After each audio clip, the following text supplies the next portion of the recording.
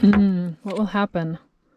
Will it cook together and uh, just totally grow together? We will find out. Into the tube she goes. Hey guys, welcome back to another video. Today I'm up in the mountains. Oh, it's such a lovely day. There's snow on the ground, but it's starting to melt. Oh, it feels like an awesome spring day. And today I'm gonna try out my solar cooker again. I'm gonna see if it works in colder weather. And I'm gonna see if I can make some pizza. If that goes well, I might make some cookies. Such a beautiful day, such a beautiful location. And we'll see if I can make some pizza up in the mountains. Okay, so if you haven't seen this yet, this is the solar oven. I have a couple other videos on how it works, but uh, the food goes in the tube, and this goes out in the sun. Here's the tube, and it cooks. So today, let's see if we can make some pizza. You can cook in the tray, or you can put these little silicone cups in and uh, cook in two little cups. But I'm just going to use the full tray, and I'm going to line it with some uh, parchment paper.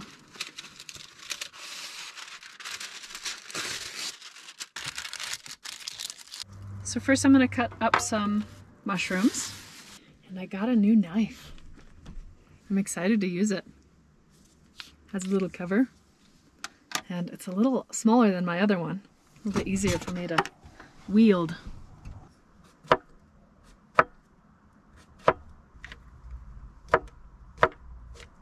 It's sharp. So it's gonna be a mushroom, olive, and garlic pizza. I mostly eat a vegan diet, which is uh, no meat, no cheese, no eggs. I love pizza though. Man, it's one of my favorite foods. Yeah, I like this knife. Mm, I love garlic. Oh, and olives. Okay. Check out this little gadget I just got. So this is where I keep all my cooking stuff.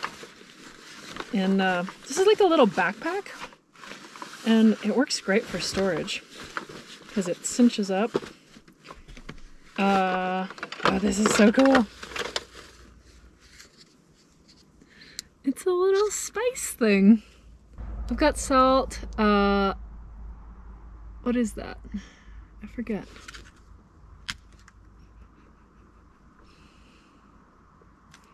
Oh, that's just pepper.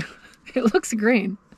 But okay, salt, pepper, uh, Italian seasoning, ginger, and cinnamon. So I don't know, if you had to pick five spices, what would you pick? So, and then these uh, little guys just flip up. So, yay, I can't wait to use it. Okay, time for the crust. So I got this pre-rolled dough at the store. It's pizza crust.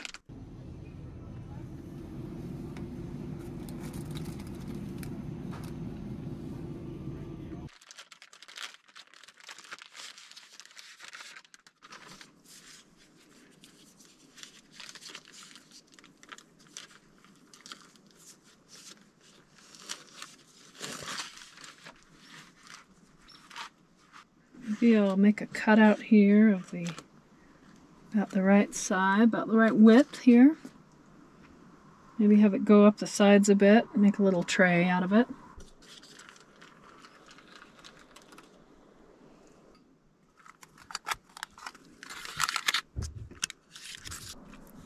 Maybe I'll make a little crust here. So uh, it doesn't cook very good on this end. So it really works best if you can flip it halfway through. So I'm going to put this little pull tab in here so that I can get to it when it's hot. Pull it out. See if I can get both sides to cook evenly here. Okay, so I've got some pizza sauce.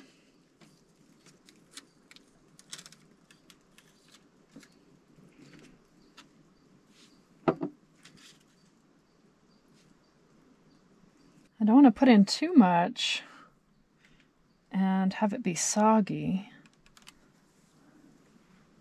So maybe, I don't know, should I dump some out? Kind of just trying to coat the whole thing here. Well, that's a lot of sauce.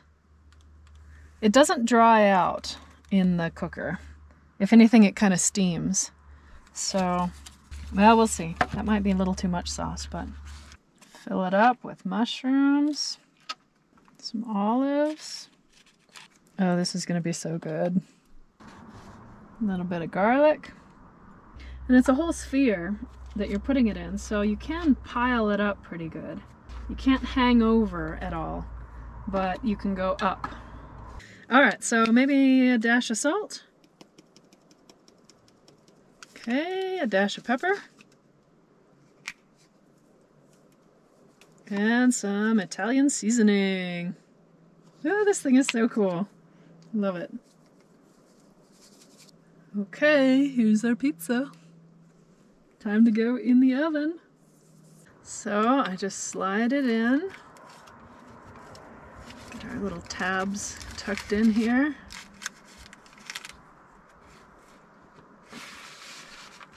I slide my little thing open that holds it open and this is a little dial that I can see the reflection of the sun to make sure it's positioned correctly.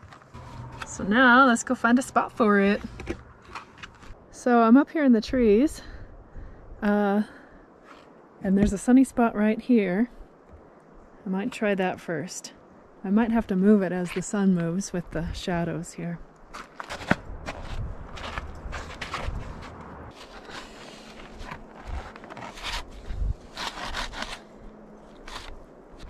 Okay, so it's fully in the sun here. Will it cook in the mountains, in the snow?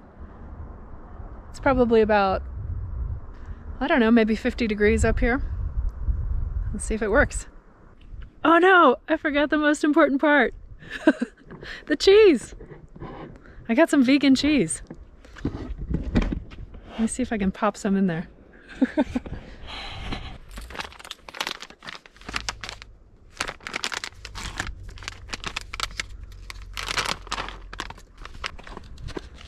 Okay, I wonder if this is gonna work.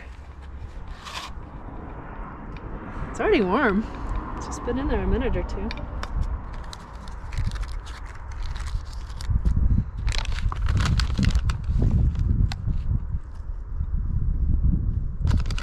All right, well, we'll just have a little bit of cheese.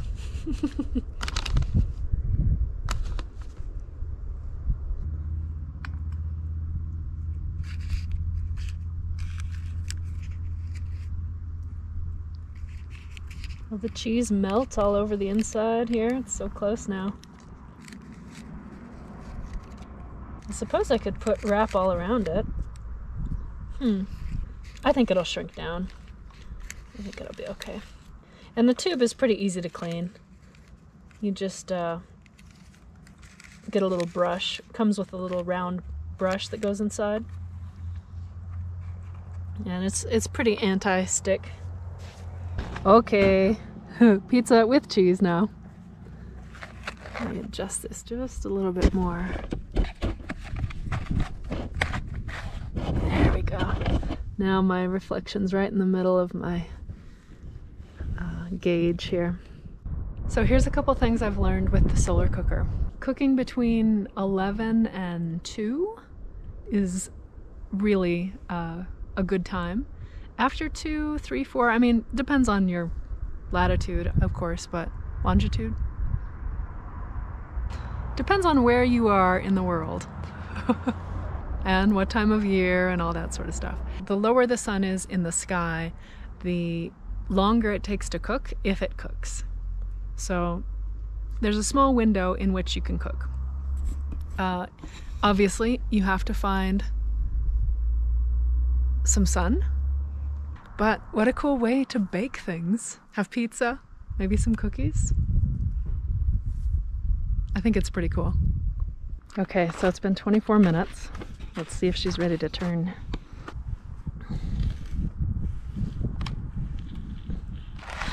Oh. The cheese melted all over the tube. Gonna have to clean it before the cookies.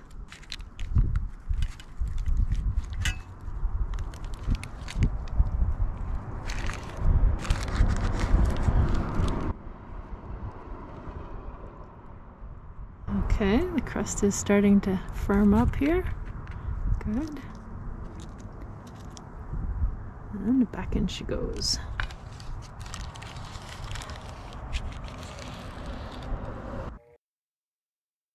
Okay, I think it's about done. Let's see, it's been in about 47 minutes.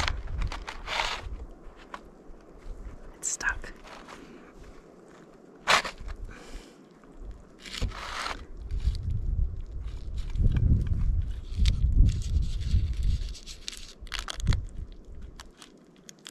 Oh, it smells so good. Well, not quite. A little bit longer. Okay, guys. It's been a little over an hour, and I think it's ready. Let's take a look. Oh, it's sizzling. It smells so good. It's a little stuck there. Oh, it looks great crust is just starting to brown.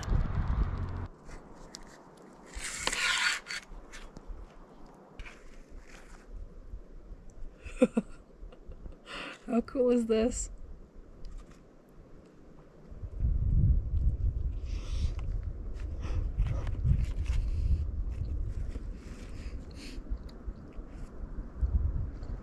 It's very hot. Mmm. Yeah, it's really good. I'll show you the crust here. So it got nice and toasty. Not quite as done on the edges, but the middle is nice and crispy. Okay, now that I've totally scorched my mouth, I don't know if I can taste. Maybe I should have used a little less pizza sauce? I don't know. It's a little uh, doughy inside. I don't know how it'll be in the middle though. This is still the end.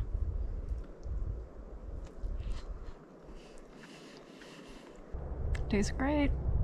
Pizza in the mountains. My cheese melted. Kind of. I don't know if the cheese was worth it because it kind of gummed up my tube here.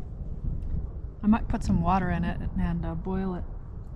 See if I can clean it up quick and uh, Still have some time for the cookies. This is great though.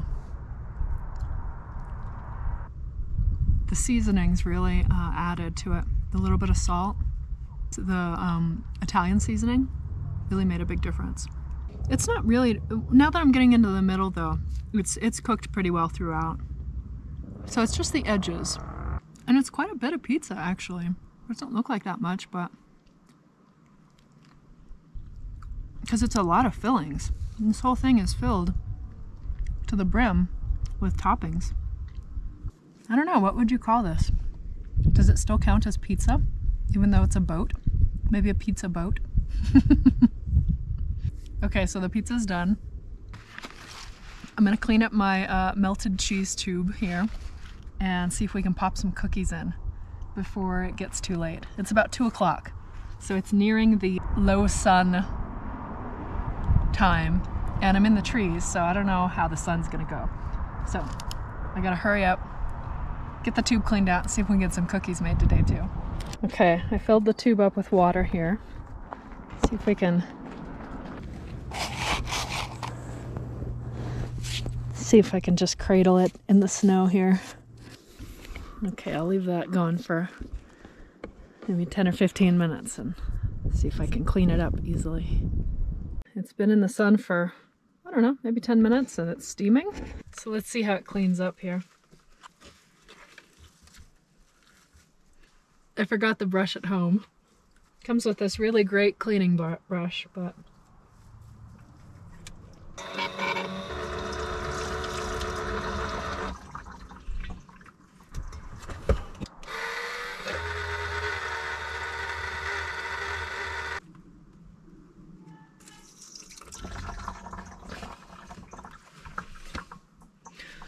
Okay, time to make cookies. Okay, so I'm gonna do the same parchment paper trick. And I have some lovely cookie dough. okay, so what shape should I make them? If I make them balls, I don't know if they'll cook all the way through. I could line it. Maybe I'll line it and then like cut it up into cookies. I think that's what I'll do. I'll do a flat, oh, a big long flat uh, cookie boat.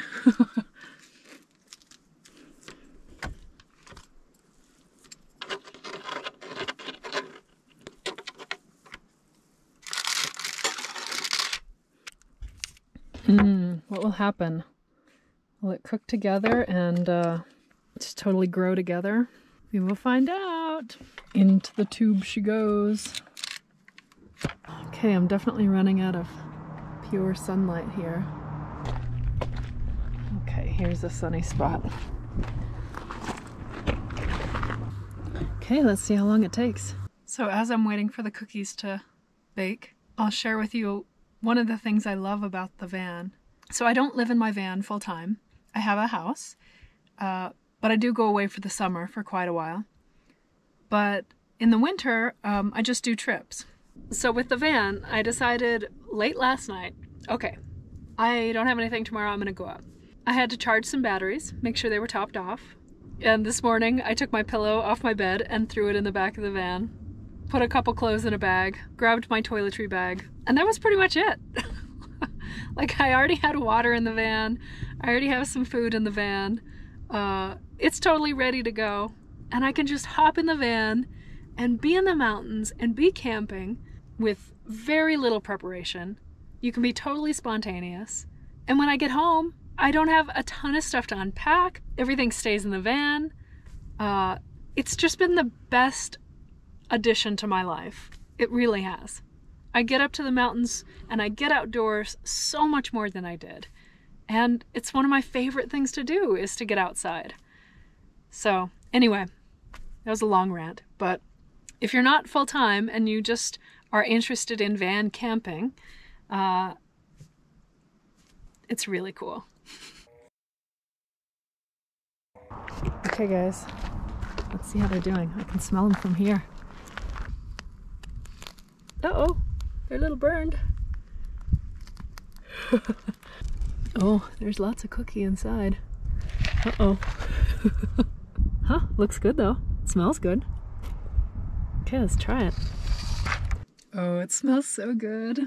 So it's really interesting to see how differently everything bakes in this thing. Like the apple pie that I made in a previous video and the pizza dough, those both kind of cooked like steam buns. So they didn't, they sort of browned, but this definitely uh,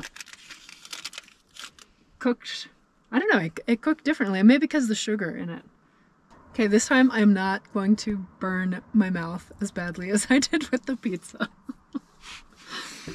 uh, how long have I been alive? All right, so it didn't quite turn into a cookie boat. Huh, interesting. It's pretty doughy. So it browned, kind of burned on the outside edge, but the inside is, is doughy still. Huh, interesting. Patience patience. So not quite cookies, but warm heaven nonetheless. oh, this is really good actually. Because it's like cookie dough-ish, but cooked through. I'm going to take off this outside layer here that's kind of starting to burn. Let's see what happens if I put it back in.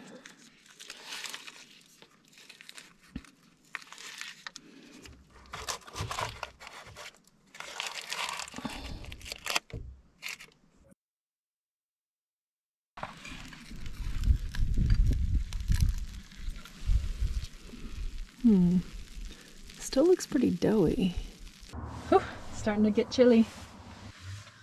Okay, so like I said, doughy, but uh, burned doughy. Hmm. Still not really uh, crisping up at all. Very odd, huh? Well, I'll just have to um, suffer through and eat these misshapen uh, cookies. Yeah, they're pretty good. it's an interesting consistency though. Like it's kind of caramelized-ish, but still really chewy. I don't know if this dessert really holds up to the solar cooker. Not like the pizza. The pizza I'd totally do again. I think it's an awesome treat. Really fun to make. Great payout. So pizza, yes. Cookies, meh, meh, I don't know. I need to find a, a better dessert, I think. I don't know. What other desserts do you think I could try in here? Let me know, all you bakers out there. all right, well, I hope you enjoyed um, coming up to the mountains with me today. Maybe my solar cooker gave you some ideas. And thanks for coming along with my cooking journey. And uh, I'll see you on the next one. Bye, guys.